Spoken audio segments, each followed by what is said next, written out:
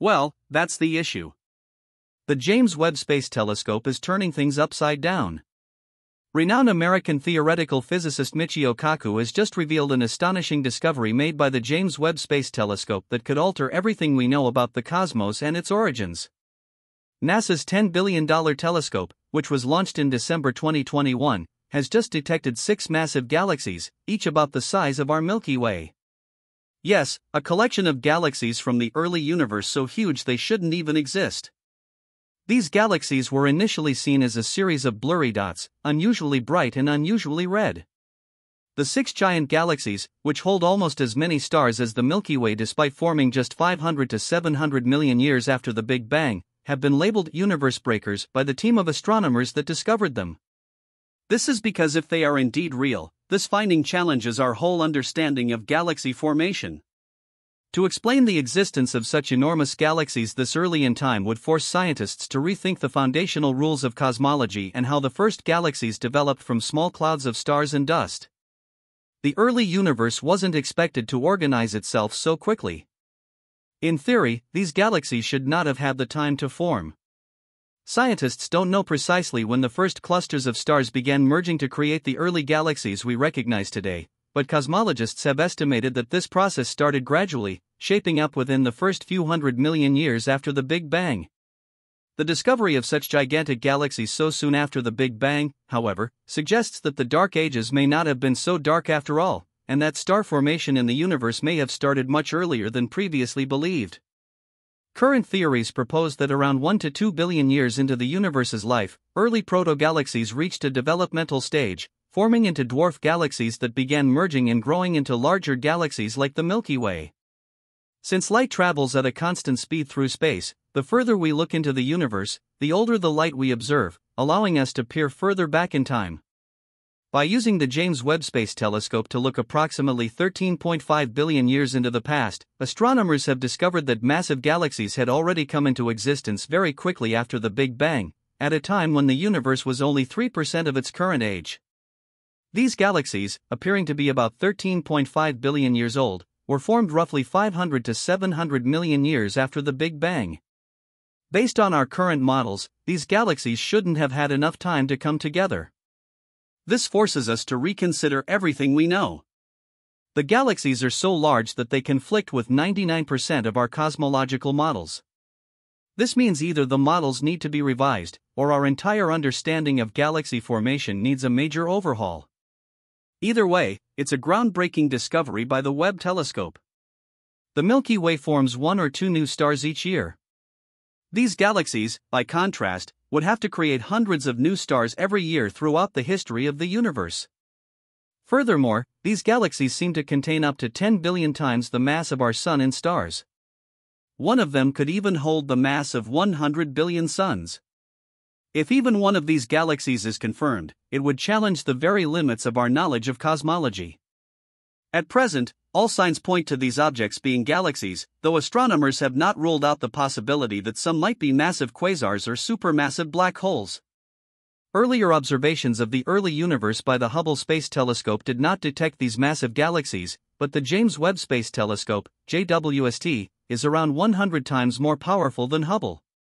The Webb Observatory was designed to uncover the earliest periods of the universe's history in its faintest flickers of light, and it has been fulfilling this mission ever since its launch. This isn't the first time the Webb telescope has made us rethink our cosmic understanding. Just last year, it made a revolutionary discovery related to the Big Bang Theory. Rohan Naidu was at home when he stumbled upon a galaxy that nearly turned cosmology on its head. As his algorithm combed through early images from the James Webb Space Telescope, it identified an object that, on further investigation, was incredibly massive and dated back to about 300 million years after the Big Bang, older than any galaxy ever observed. At that moment, Rohan realized it might be the most distant starlight we had ever detected.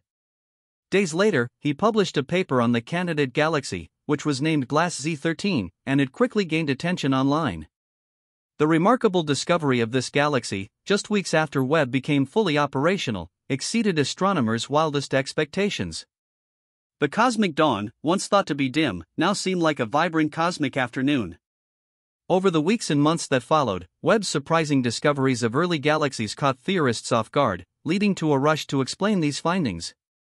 Could these galaxies indicate that the universe is far more mysterious and complex than even our most daring theories have predicted? What's at stake is nothing less than our understanding of how the structured universe we know came from primordial chaos. Hubble previously held the record for the most distant galaxy ever observed, GNZ 11, which was discovered in 2015 at a redshift of 11, following a 2009 upgrade that boosted Hubble's infrared capabilities. A redshift of 11 represents a cosmic age of around 400 million years after the Big Bang, marking the edge of when galaxy formation was thought to begin. But Webb's early discoveries might be about to rewrite the early chapters of cosmic history, chapters that affect not just distant galaxies and epochs but also our own existence here in the Milky Way. You build these instruments not to confirm existing ideas but to challenge them, said Webb scientist Mark McCaughrean at the European Space Agency. You just don't know how they'll be challenged. As light from distant galaxies travels across the vastness of space, it is stretched by the universe's expansion, a phenomenon called redshift. The higher the redshift, the more stretched the light is, meaning the galaxy is more distant. The redshifts for these early galaxies are so high that their visible light has stretched into the infrared by the time it reaches us. With Glass Z13 at a redshift of 13, this places it at around 300 million years after the Big Bang. Could galaxies have formed this early in the universe? While more research is needed on these primordial galaxy candidates, scientists hypothesize that smaller galaxies could have developed early in the universe, which might explain the existence of Glass Z13. Little did they know, Webb was just beginning to unearth the universe. Over the next few days, numerous galaxy candidates from CEERS and Glass appeared, with redshifts as high as 20, around 180 million years after the Big Bang, some with structures resembling disks that were not expected to form so early in cosmic history. Now, an unprecedented discovery has been made, revealing cracks in cosmology. While examining a section of the sky near the Big Dipper, astronomers identified six faint objects dating back over 13 billion years. These objects are thought to be ancient galaxies. Such early star systems were expected to be small since they hadn't had much time to grow, but these galaxies are huge. It's astonishing, as the red, bright objects in the Webb data could contain billions of stars similar to those in our Milky Way. These galaxies, formed just 500 to 700 million years after the Big Bang, exist in a time when there shouldn't have been enough matter to fuel such an explosive growth of stars and solar systems.